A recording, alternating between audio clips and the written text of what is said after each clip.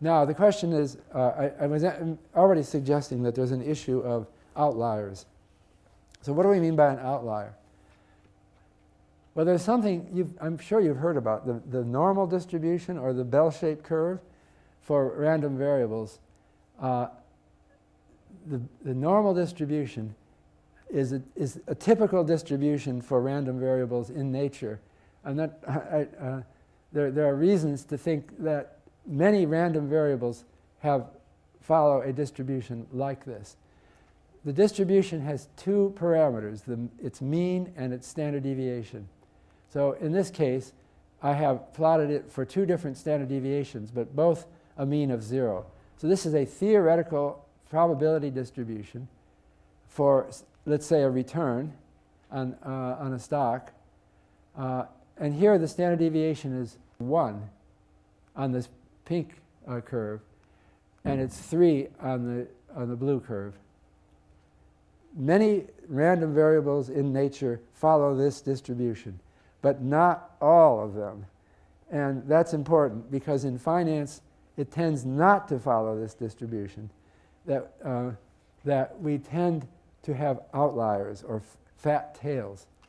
So the, uh, th this random distribution, uh, this, the normal distribution, has two tails. This is the, the right tail, which is high values of the random variable, and here's the left tail, which is low values of the, of the random variable. And, uh, the height reflects the probability of getting that value.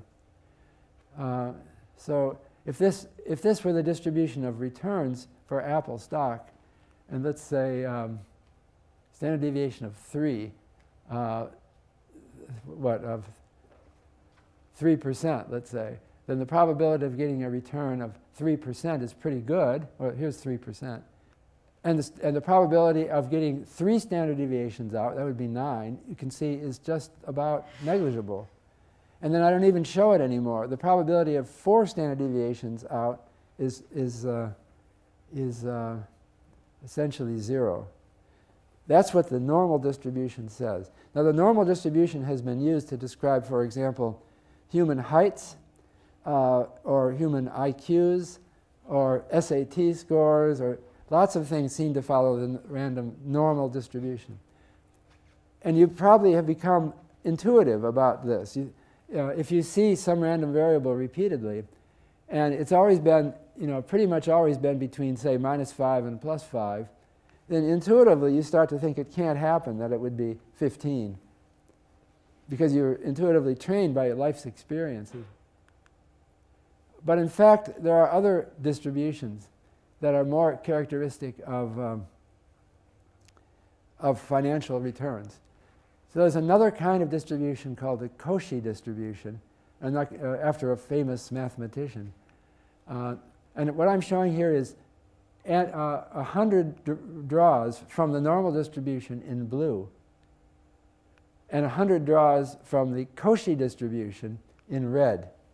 Now you see the difference between the Cauchy and the normal.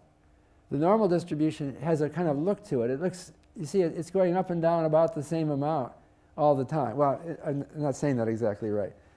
The, the probability that it would be 10 times the normal change, the usual change, is, is negligible. So you, you never see it deviating from, it has a kind of uniform look to it through time. But with Cauchy, it also looks very much like normal. You can't even tell them apart for long intervals of time. And then bang, there's some big positive value. In other words, the distribution under Cauchy is fat-tailed. So the Cauchy looks like a normal distribution, except instead of just trailing off to zero, the distribution continues out above zero, way out. Uh, so you can be deceived by a fat-tailed distribution like the Cauchy into thinking that you're living in a fairly stable world whose risk I understand. But the problem is there are these big events that occur from time to time. The central limit theorem in uh, statistics says that a large averages of a large number of independent, identically distributed shocks or, or random variables is approximately normally distributed. But that, this, that central limit theorem assumes that the underlying shocks do not have fat tails. So if you're taking the average of stock market returns, which tend to be fat-tailed, then your average is not a good indication of the real average over long intervals of time. Because you might well have gotten a sample where none of the fat-tailed outlier stocks. Uh. So my friend Nassim Taleb has written a book called The Black Swan, which got a lot of attention, uh, referring to black swan events. So you've seen a lot of swans in your lifetime, and they've always been white, right? Uh, have you ever seen a black swan? So you might well conclude that black swans do not exist. But in fact, they do exist. There are black swans. Uh, and so that's the metaphor he uses for a fat tail. So here is a plot of the normal and the Cauchy distribution. So the, the Cauchy distribution looks pretty much like the normal. It's a bell-shaped curve. And it trails off, but there's a subtle difference uh, that there are these rare, very, but they're not quite as rare as, as, um, as the um, normal uh, would suggest. So uh, the, the real world puts fat tails in our lives. So here is a plot of the, it's a histogram of daily stock price changes since 1928. And what I have, what this thing is, uh, on how many days there are since 1928, but it's tens of thousands of days. Uh, and so what we're seeing here is that the, the stock market yielded a return of um, this is for the S&P 500, or, or extended S&P 500, of between, um, I guess this is uh, uh, between, or of 1%, uh, with some interval around that. Uh, it did that uh, it, on something like 9,500 days, it earned plus 1 on one day. And then um, on on something like uh, 2,500 days, it earned plus 2%. And then it, uh, on something like 800 days, it earned plus 3%. Uh, on, on uh, what's that? Looks like it's about, I don't know, 400 days, it was plus 4%. And then here, I can't even figure that out anymore, something at plus 5%.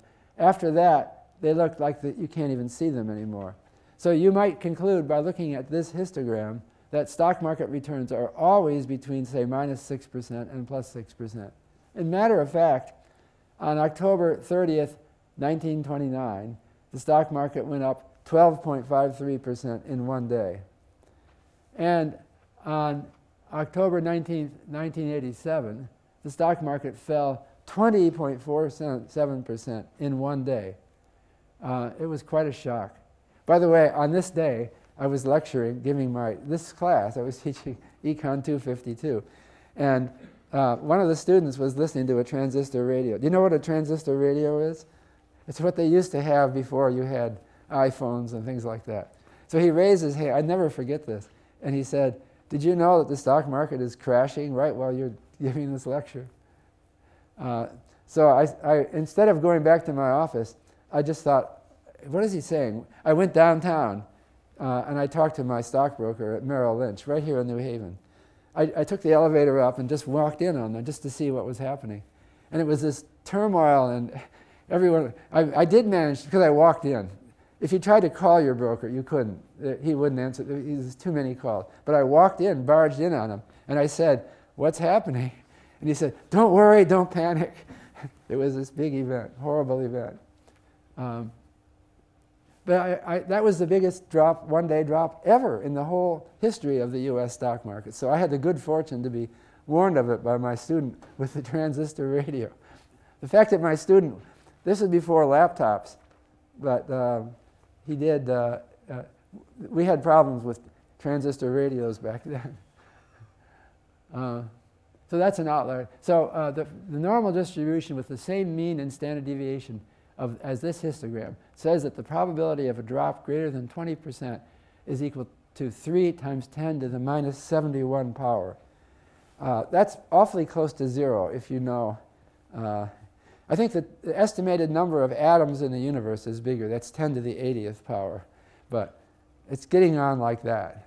So it's, um, it's essentially zero. But it's wrong because it happened. I was there. I saw it happen. And I saw the excitement that it generated.